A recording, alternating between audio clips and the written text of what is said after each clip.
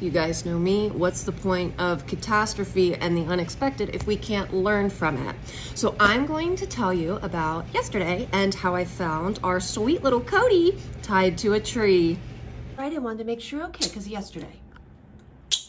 Okay, you look great. Good girl.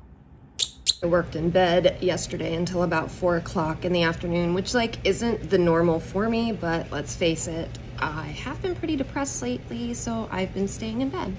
There it is, normalize it. So I got up to go in and clean the animals, never having thought I would walk into this poor little irate creature that literally, through her cat tree, she managed to slit like a little hole in it and then twist herself and twist herself. So she was literally tied to her cat tree when I got in there. You got your bottom half stuck. I'm gonna save your life. Hold on. I put my phone down at this point. It was very clear I was gonna need two hands. I was gonna need gloves. This girl was at me with her teeth blaring. That was actually how I even discovered her. I opened the door, I was on the phone with my mom, and she started her, and I was like, that's so weird. She never sits there, this is weird, and then I saw the whole picture. So I grabbed my raptor gloves. If you work in the animal world and do not own a pair of these, they're incredible, you need them. I also grabbed some heavy doozy scissors because I knew that I was gonna have to somehow feasibly cut her out.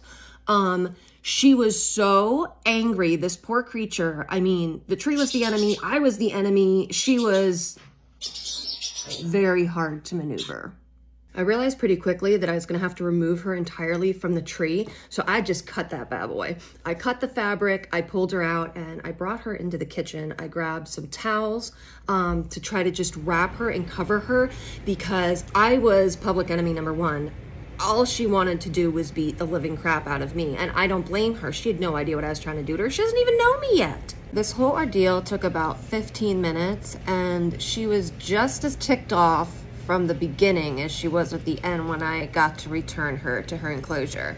I thought maybe I'd have the chance of being the hero for springing her, but I am not. As you could tell from the video I just took a little bit ago from today, she's pretty sassy. I'm literally just checking on you. I know, I'm sorry, I'm definitely channeling her inner Mila.